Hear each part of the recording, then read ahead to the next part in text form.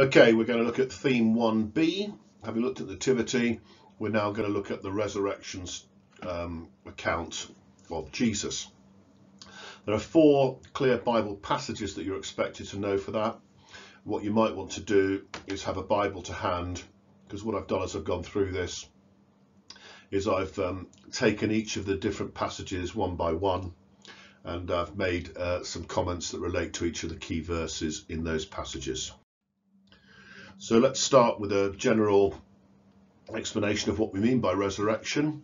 It comes from the Latin word resurrectio, meaning to rise again. And Christians believe that after he was crucified, Jesus rose from the dead and appeared to his followers for 40 days. So the Gospels of Matthew, Mark and Luke document that Jesus told his disciples that he was going to go to Jerusalem, he was going to suffer many things under the elders and chief priests and scribes, that he was going to be killed, and on the third day he would be raised. But it would be true to say, if you're looking at the synoptic gospels, they paid little attention to this, and so when Jesus was arrested, they fled in confusion. Shortly after his crucifixion, the apostles began to preach that God had raised Jesus from the dead, thereby proving he was the Messiah. They told others that if they accepted his Messiahship, then they could share in his resurrection, meaning they too could experience life after death. And this was a big comfort as they began to spread the message of Christianity. So, as I said previously, the syllabus requires you have knowledge of four biblical texts that relate to the subject. Um, and you need to really think about how the New Testament writers viewed the concept of death, the soul, the resurrected body, and the afterlife. So your first passage is Matthew 10:28, which says, "Do not be afraid of those who kill the body, but cannot kill the soul. Rather be afraid of the one who could destroy both soul and body in heaven." So the first thing we can pick up from this passage is that clearly there is some sort of belief in the soul, and quite clearly the one who is referred to here is God, um, who can destroy both the soul and the body in hell. So this passage is telling us that there's some concept of soul and that there's a concept of heaven and hell. This passage occurs in the middle of Jesus' ministry. Jesus is sending the apostles out to preach in his name. And I suppose what this passage is doing is describing what the Old Testament would call fear of the Lord. It's not um, abject terror or panic, it's um, a healthy kind of fear, the sort of fear that a soldier would have for his weapon or a cook has for fire on a stove. It involves respect, um, at the same time acknowledging that God has the power to utterly destroy those who are against him. So it's a right and proper fear. So here, I think in this passage, Jesus is insisting that death shouldn't be avoided at all costs, because the death of the body is not the ultimate loss. The death of body and soul together in hell is the ultimate loss. So the message his apostles preach of salvation through faith in Jesus brings the promise of eternal life in body and soul to many people as well as to themselves. Now, the next major passage you have to be familiar with is John chapters 20 to 21, two very big uh, passages, so uh, I won't be reading through them all in detail, but I will pick out the various different bits that um, are pertinent to you. So if we start with this John 20, um, it would be true to say that John uh, has dramatic structure in his writing. He uses a rhetorical vice called chiasmus or chiasm, uh, and that is where two or more clauses are balanced against each other by the reversal of their structures in order to produce an artistic effect. So um, it's a style of writing that repeats similar ideas in reverse sequence. So to give you a really simple example of chiasmus or chiasm, you could have this, never let a fool kiss you or a kiss fool you. And you can see there the reversal of the idea across the sentence. Now it'd be true to say that the writer of John's Gospel uses chiasmus frequently and it's very much in evidence in chapter 20. So um, the textbook gives a rather simplified um, example of chiasm or chiasmus.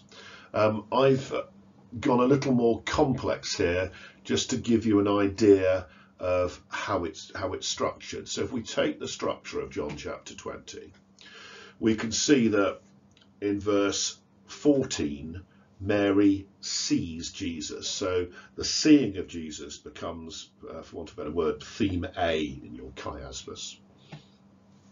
Then we see that Jesus tells Mary not to touch him. So this idea of, so you get seeing A, touching B. He then appears to the disciples when the doors are shut. So seeing A, touching B, appearing when doors are shut, C. And then D, Jesus in verse 20, shows the disciples his wounds. So wounds become D. Then we see that the disciples are overjoyed when they see Jesus, which is E. And then he blesses them, breathes on them, and they receive the Holy Spirit, which is F. So we've got A, B, C, D, E, F, and then with chiasmus, it's going to reverse. So what we then see is Thomas, um, the idea of seeing Jesus. The disciples tell Thomas they've seen Jesus, so now we're reversing back to E. Thomas says he won't believe until he's seen the wounds, so the wounds are there, D. Then Jesus appears to the disciples when the doors are shut again, so that's C. Then Thomas touches Jesus' wounds, which is B. And then Jesus states, you have seen me, you have believed. Back to theme A.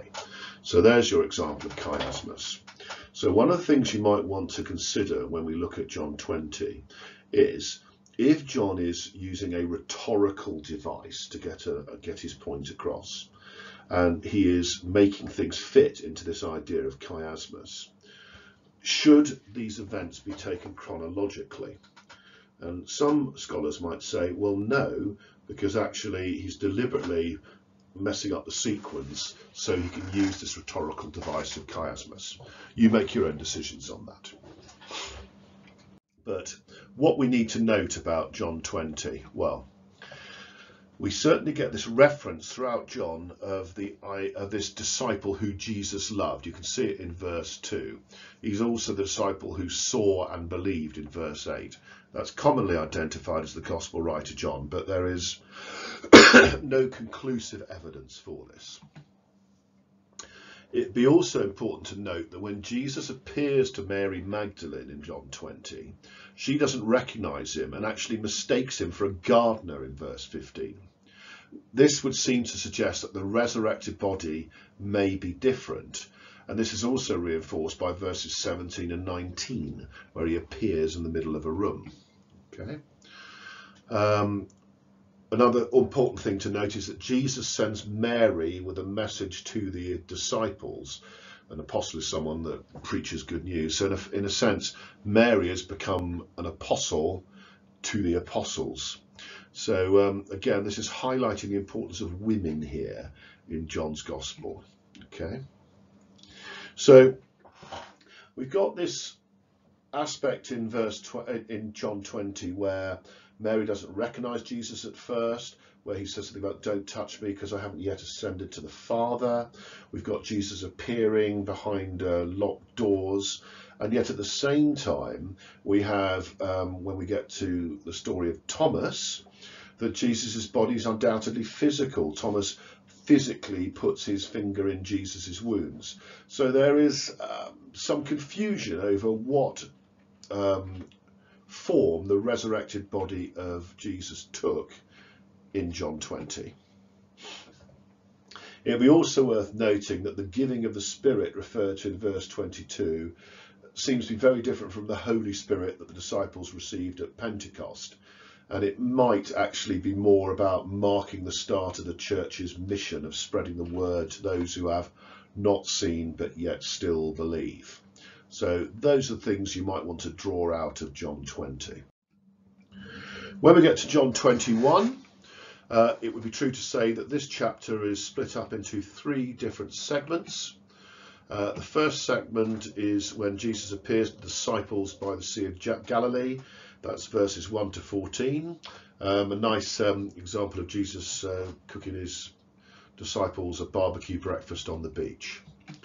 So what can we note out of those sections in, in verses 1 to 14 of John 21? Well, once again, if we look at verse 4, it appears the disciples don't appear to recognize Jesus. And then the disciple whom Jesus loved recognizes him when the miracle of the fish occurs. Again, you'll need to read this chapter in more detail so you can understand what I'm talking about here. Then all the disciples recognize him by verse 12. And quite clearly, when we get to John 21, Jesus' body is clearly physical. He, he's cooking, he's eating, he's you know, barbecuing some fish on the beach. And when we get to the second part of John 21, we've really got Jesus reinstating and commissioning Peter, Simon Peter. So um, Jesus asks Peter three times whether he loves him in verses 15, 16 and 17.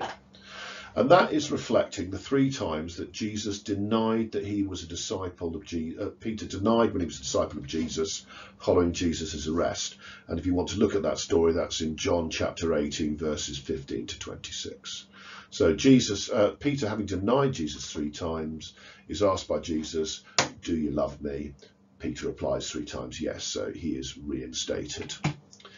Um, and certainly it would appear that verses 18 to 19 appear to be foretelling Peter's death. Now, Peter was traditionally crucified upside down in Rome during the persecution of Christians by Nero round about 67 CE.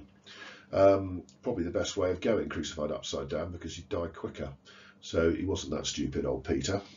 Um, but important to note that John's Gospel wasn't written until the late first century CE, so therefore that story, you know, that, that, that story of how Jesus died may have already been known and may have been inserted by the author of John's Gospel in there. Who knows?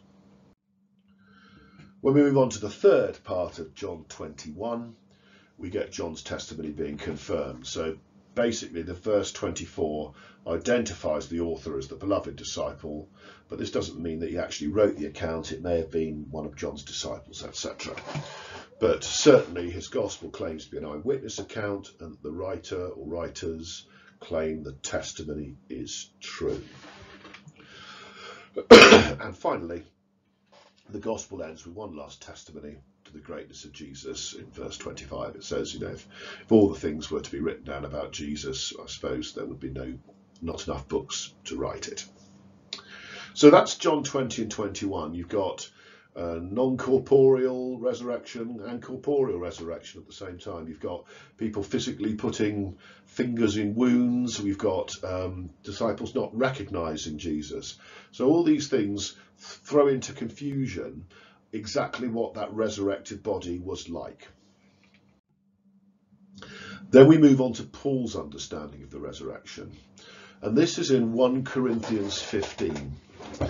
Um, and it's quite a complex passage. Um, and it also be um, fair to note that we need to put this into context. Certainly, Paul's letter to the Corinthians, he's writing to a church that clearly has some issues if you read the whole of 1 Corinthians.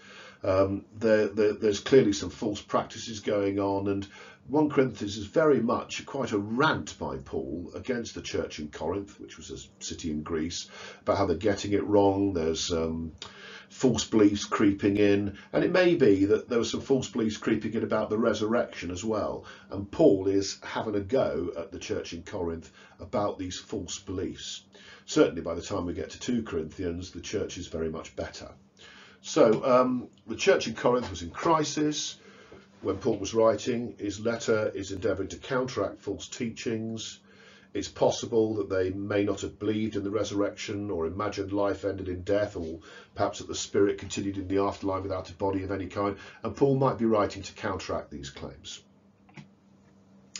But certainly, when we look at 1 Corinthians 15, we get through to verses 3 to 7, Paul clearly states the resurrection is an objective fact. Forget all this false teaching about it didn't happen it definitely happened. Paul goes on to say, you know, he was an apostle. He saw the risen Jesus on the road to Damascus. And he states that in verse 8. And if you want to read the story of Paul's conversion, you just have to look at Acts chapter 9, 1 to 20. You know, Paul is very clear the resurrected Jesus appeared to him on the road to Damascus. So Paul starts 1 Corinthians 15 by categorically stating, be under no illusion, the resurrection occurred. He then moves on, okay, having established that the Corinthians should believe in the resurrection of Jesus he then goes on to challenge their own belief. He's making some logical points here. Okay. Um, so what he's saying is if the Corinthians are stating that no one's resurrected from the dead, then that means that Christ couldn't have been resurrected from the dead. And he's making that point in verses 12 to 13. He then goes on to say, well, if that is the case, then logically, all the preaching of the gospel is therefore false and worthless, as is the faith of anyone foolish enough to believe it. That's what he's putting through in verse 14. And then he goes on to say, well, if that's the case, if resurrection is false, anyone who believes in Jesus for the forgiveness of, for the forgiveness of sins, that's false. So they remain unforgiven. They're going to hell, and that means anyone who's already suffered and died in vain as a Christian, the whole the whole um, their whole belief is meaningless because their sins haven't been forgiven, because there was no resurrection, and therefore they're in somewhere where it's very hot, hell. So Paul declares again that Christ has been raised from the dead. And in verses 20 to 28, he's saying he was the Christ is the very first person to be raised from the dead. Just as death came into the world through the sin of one man, Adam, resurrection comes into the world through the act of one man, Jesus. So he's the first to be resurrected, but because Jesus died for everyone's sins, everyone else can be resurrected. So it's that quote, for as in Adam all die, even so in Christ have all been made alive. So Christ will defeat every power on earth God will cause everything to be under his authority. And that's what Paul is really saying in verses 20 to 28. The original sin came in Adam, sentenced all of humankind to death. However, the resurrection of Jesus, just as one man, Adam, sentenced the whole of humankind to death, the death of one man, Jesus, means that everybody else can be resurrected. The original resurrection of Jesus means that we can all share in that resurrection ourselves. When we move on to 29 to 34, uh, Paul then talks about um, the fact that he wouldn't live a dangerous and costly life, a life as an apostle of Jesus, if there wasn't a resurrection. He talks about um, how he um, faced wild beasts in Ephesus. And what he's saying is, well, why would I put myself through all this hardship if I didn't think that there was a resurrection? So he's just making that point. And then what he goes on to do is describe what the resurrected body will be like. And this, this is absolutely key. So you need to know this bit. And this he does in verses 35 to 41. So it may be that some people have assumed that resurrection meant a reanimated corpse, talking zombie apocalypse or whatever. Or they might have wondered how a rotting or corrupted body could exist in a heavenly realm. Well, instead, what Paul does, he describes our current body like a seed, a seed that will die to make way for a far better body built to exist in eternity. And what he says is that that body will be as different from our current bodies as a man is from a star or, or the moon. So he's saying, you know, don't think about or don't compare a heavenly body with an earthly body. It's two completely different things. They're as different as a man to a star and a moon. It'll be totally different. He then moves on in verses 42 to 49 to talk about how our natural physical bodies are perishable, they're temporary, they're dishonourable, and they're weak. But when we come to those raised, resurrected heavenly bodies, unlike the perishable, temporary, dishonourable, and weak bodies, they're going to be imperishable and they're going to be eternal and they're going to be glorified and they're going to be powerful. we have the natural bodies that come from Adam, from the dust of the earth, that stuff of the earth that we read about in Genesis 2 7. And they're going to be transformed into bodies like the one Christ was raised with, made of the stuff of heaven. And that's what Paul's talking about when he's um, writing verses 42 to 49. And then finally, verses 50 to 58, he talks about how that when Christ returns, both the dead in Christ and those still who live will be transformed in an instant to these new and glorified heavenly bodies that will never die. And death will end, victory over Satan will occur, and no one will ever suffer again. And that's what 1 Corinthians 50, 58 is. So very much Paul in 1 Corinthians is talking about some form of resurrected body similar to the one we read about in John 20 to 21.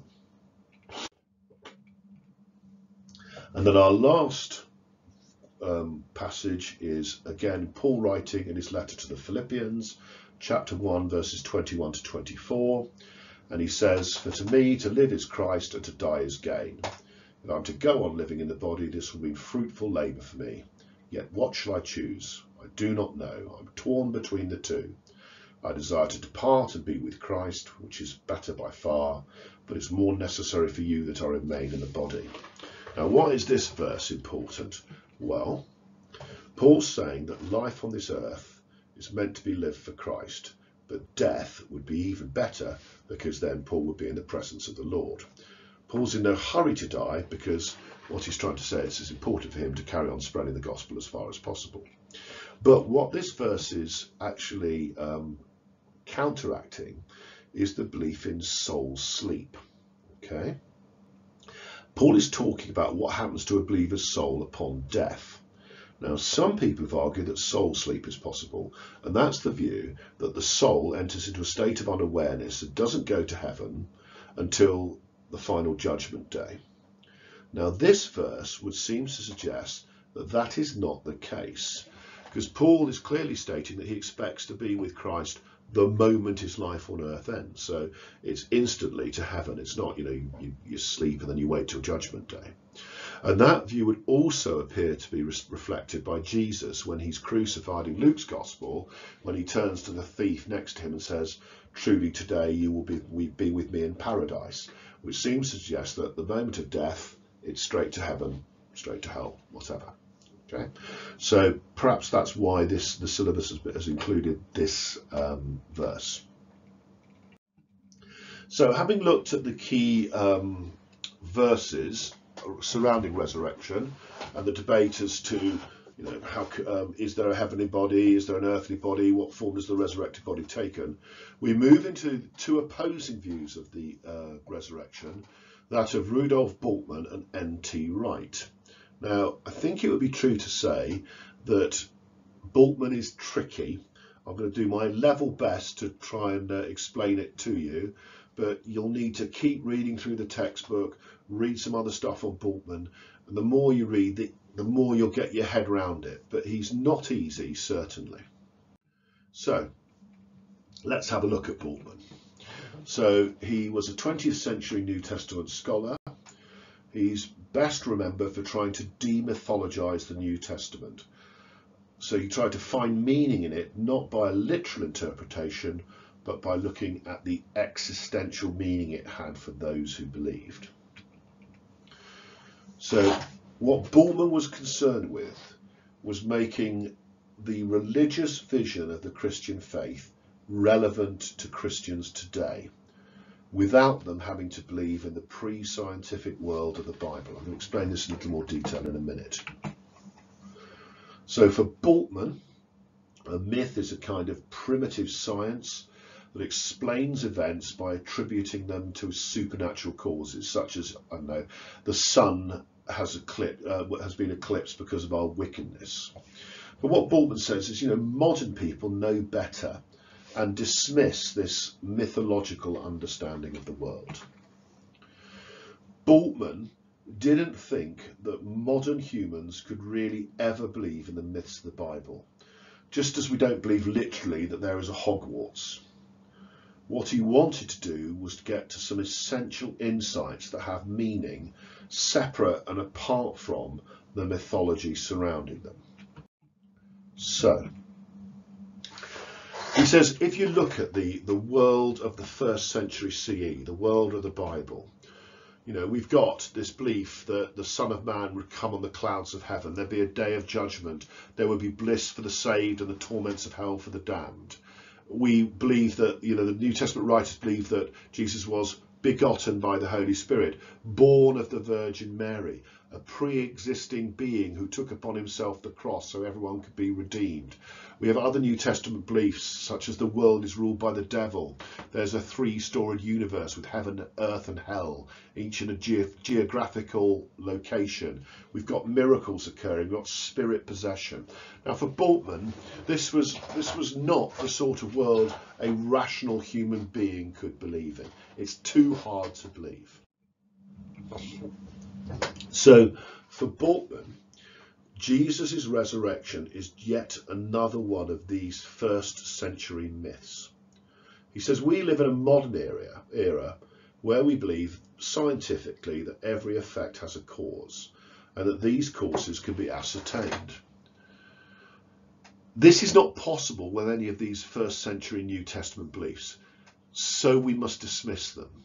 And if we dismiss these beliefs, if we dismiss the virgin birth, the resurrection, the miracles, etc., that leaves a Christian with three options.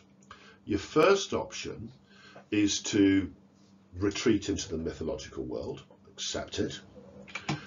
Your second option is to find all the passages in the New Testament that aren't laden with the mythology, those mytholo mythological presuppositions, such as, you know, when Jesus says, uh, love your neighbour as yourself, that's fine.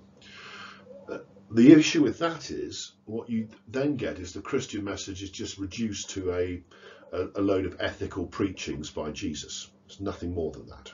Well, your third choice is to find a deeper meaning in the mythological passages.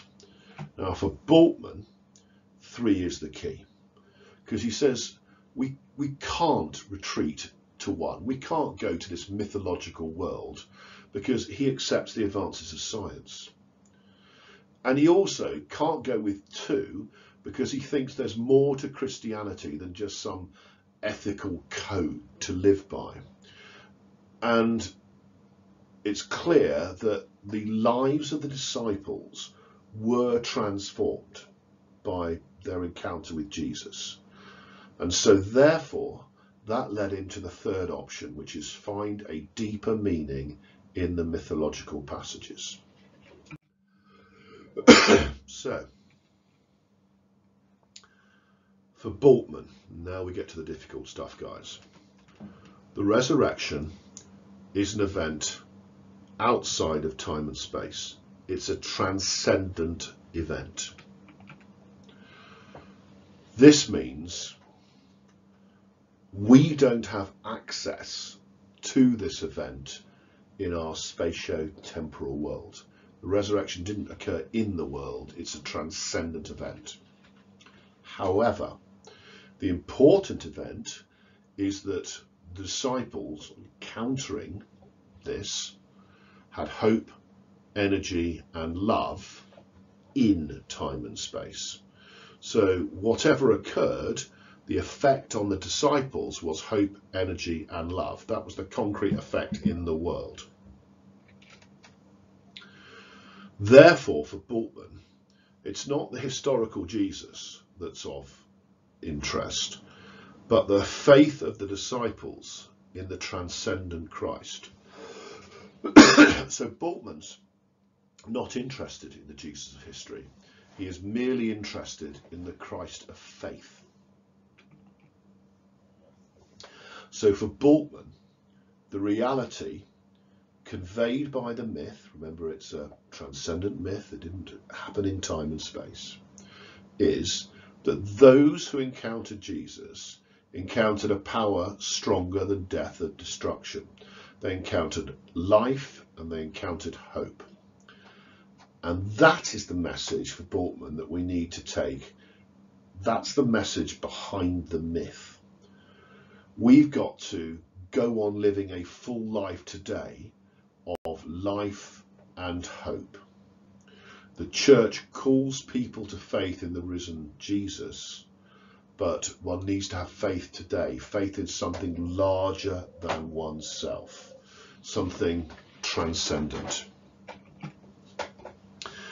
So when Bultmann took away the supernatural elements of time and space, such as the empty tomb, the post-resurrection appearances of Jesus, he arrives at the basic insight that there is something beyond us and our individual efforts in this life.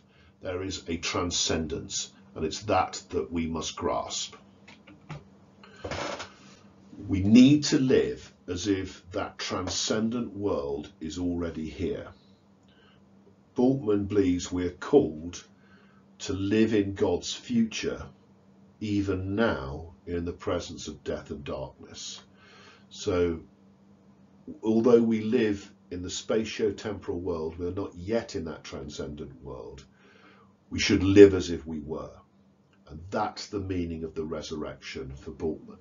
The resurrection of the disciples' belief, the resurrection of the disciples' lives, the resurrection of the disciples' hope. That's the resurrection of the New Testament. That's the message behind the resurrection. It's not a physical resurrection of Jesus. It's a resurrection of belief by the disciples.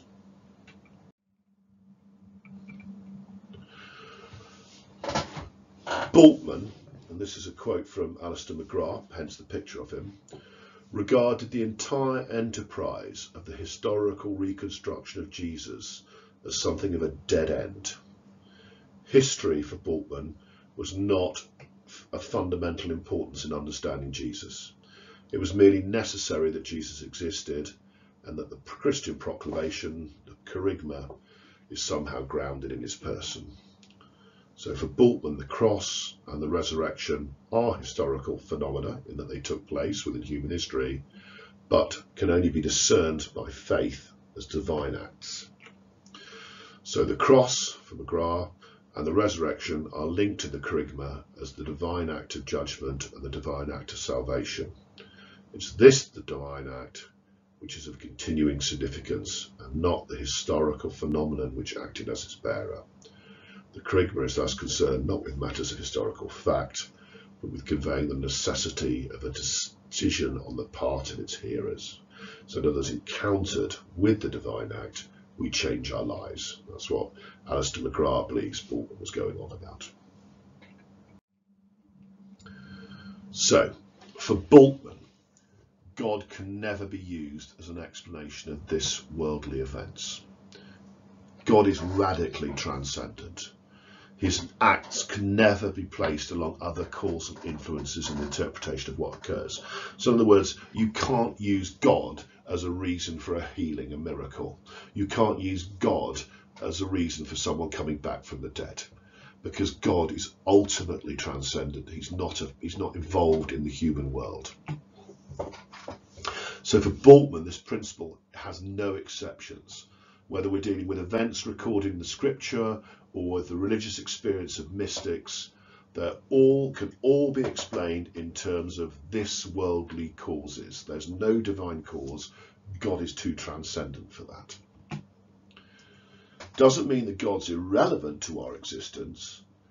It means that he's hidden to every eye except the eye of faith for Bultmann. So faith for Bultmann sees God's act alike in objective events such as the healing of a child and the unobservable happenings of personal existence.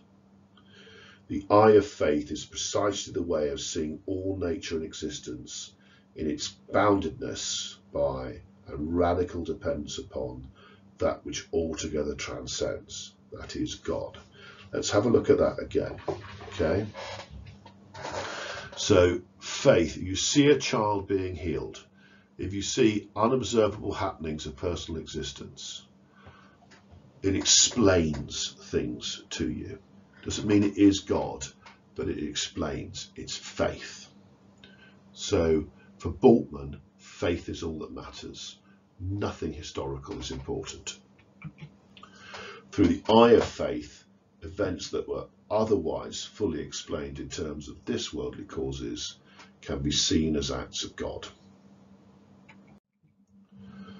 So that's Bultmann, and as I said, he's tricky, so you're going to need to go over and keep rereading, try and make sure you've got it straight in your minds. Um, N.T. Wright, on the other hand, is a little more straightforward. he, he, basically says Bultmann's wrong, the resurrection is an historical fact. So he's a leading British New Testament scholar. Uh, he's now at St Andrews University, former Bishop Durham, and he believes that a careful historical study of the Bible yields much less myth and much more historical fact than Bultmann believed there to be. In fact, he believes that the evidence is compelling for both the empty tomb and the bodily appearances of Jesus to the disciples after his resurrection. That these two events are the best explanation for the church's faith in the resurrection. So N.T. Wright says Bultmann's got it completely wrong. The resurrection was an historical fact. Now, Wright is very concerned about um, theologians giving bad arguments that scholars use to deny the reality of the empty tomb and the resurrection appearance. There are lots of them because uh, he says these bad arguments don't deal with the ancient context, context carefully. So some people have put forward the idea of swoon theory. This was very popular in the, uh, against a popular argument against the resurrection in the 19th century. And the swoon theory was that, uh, proposed that Jesus didn't actually die on the cross. It merely appeared that he did. He wasn't dead, but just fainted. After all, before the use of modern medical treatments, it wasn't uncommon for people to be thought of as dead, but to be revived before their burial. So people did get it wrong. Wright says, well, that's a load of trash. It's a bad argument. Romans knew how to kill people. You know, they wouldn't make a mistake with a crucifixion the reappearance of a battered and exhausted Jesus would hardly have suggested that he'd gone through death and out the other side, that the kingdom of God had come, the resurrection had occurred, he was the Messiah, etc. People, the disciples wouldn't have thought that if he just swooned. So Wright dismisses that. Swoon theory, it's a, it's a bad argument. It doesn't make sense. Romans were very adept at killing people. Another bad argument that uh, Wright uh, puts forward is to suggest that the pre-scientific era people were more willing to believe in resurrection since they weren't as aware of the laws of nature as we are today. And Wright says, come on, you know, if you look at careful analysis, it's simply not true. You know, you've got Plato, you've got Homer, Aeschylus, Pliny. The ancients per knew perfectly well that dead people didn't rise. You don't need modern science to tell you that. That's just sloppy thinking and bad argument. So let's go back to his disagreement with Bultmann. Remember, Bultmann didn't believe we had access to historical events surrounding the resurrection. Yet for Wright, there are multiple testimonies of the Gospels which stem from eyewitness reports. And what makes these reports so important for Wright is that Jesus' followers were clearly not expecting a resurrection. And that is key for Wright. Furthermore, Bultmann reduces the claims about the resurrection to just a private religious experience, when in fact the disciples also made claims about the public nature of the event and its meaning for the world. So at the heart of Wright's argument is the idea that in order to believe in the resurrection, the disciples had to radically change or mutate their ideas about life after death. And these changes are so great, they could only have occurred if the resurrection actually happened. It's difficult to believe they would do this since there are so many other ways of viewing life after death, as I said, unless something had actually happened. So, Wright says, the resurrection cannot have been a myth invented by the early Christian community. And it can't have been a myth because the idea of a Messiah dying and being bodily resurrected to eternal life was completely unexpected in Jewish theology. And therefore, they wouldn't have invented it, as it would have persuaded nobody. In Judaism, when people die, they stay dead. At the most, they might reappear as apparitions or be resuscitated to life for a while, but then die again later. Just as it isn't scientific to us now to claim resurrection, so it wasn't believable to them back then either. Also, for Wright, there was no concept of bodily resurrection to eternal life of a single person, especially of the Messiah. The Jews only believed in the general resurrection of all the righteous dead on Judgment Day. The Messiah was only a this worldly political figure. So the belief on resurrected Messiah was completely against all that the Jewish um, beliefs held. So, Wright's case for the resurrection has two parts. Part A is the way that Christian belief about resurrection emerged. The fact that it was so different from Jewish belief. And remember, the early Christians were Jews. And the fact that it's so remarkably different, this belief about resurrection, demands an explanation for Wright.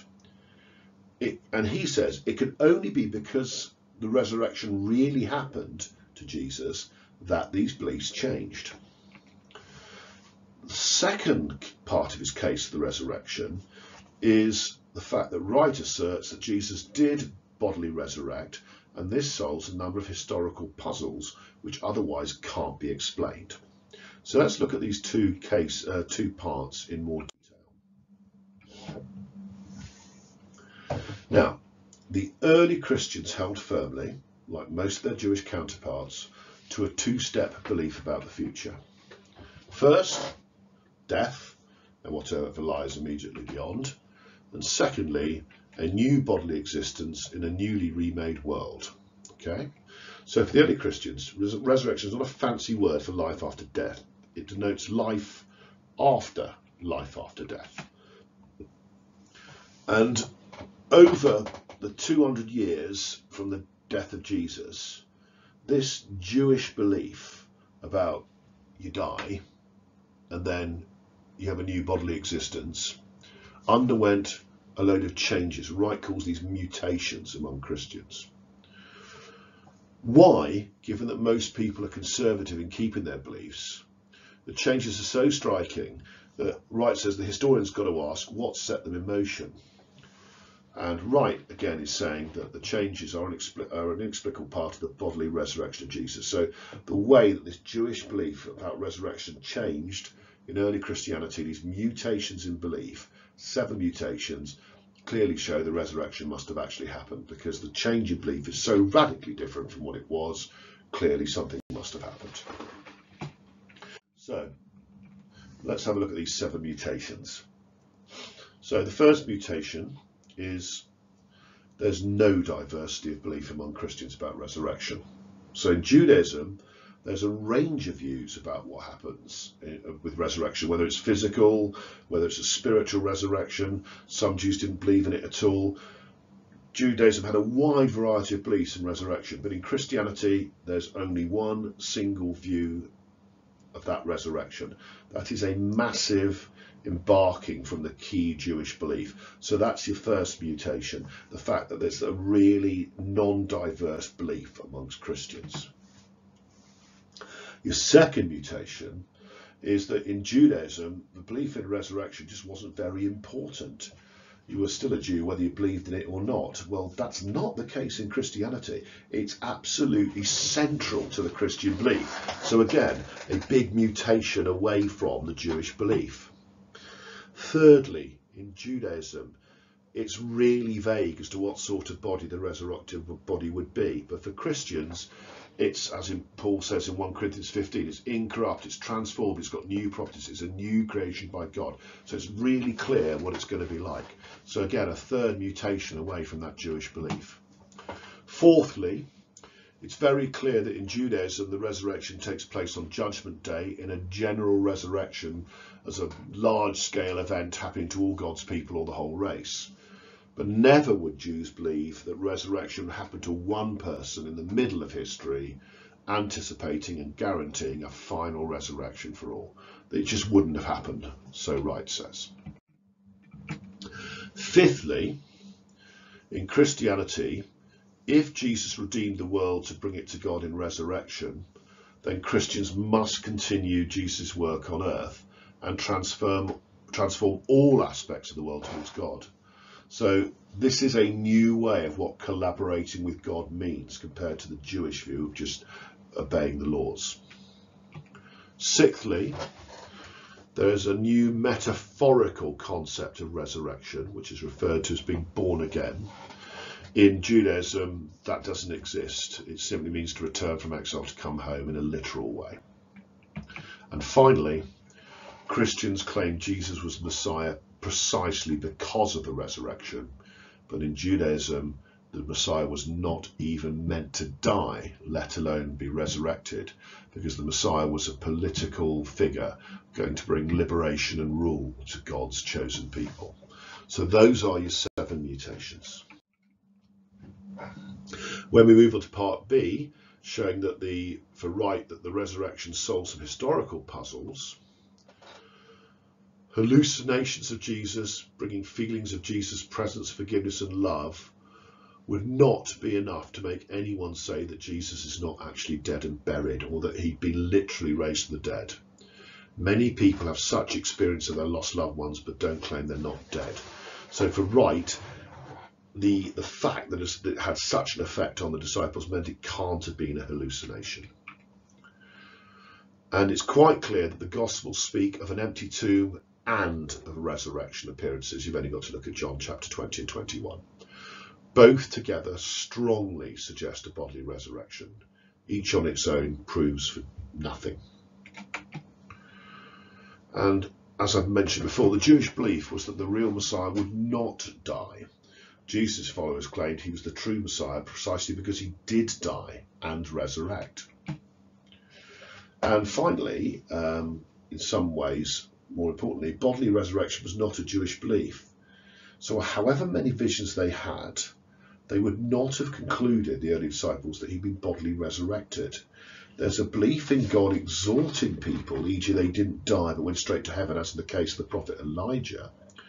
So Jesus' disciples wanted to show that Jesus was some way special with God. They would have said he was exalted, not physically raised from the dead in bodily form. The very fact that they did would seem to suggest that for Wright that it actually did happen.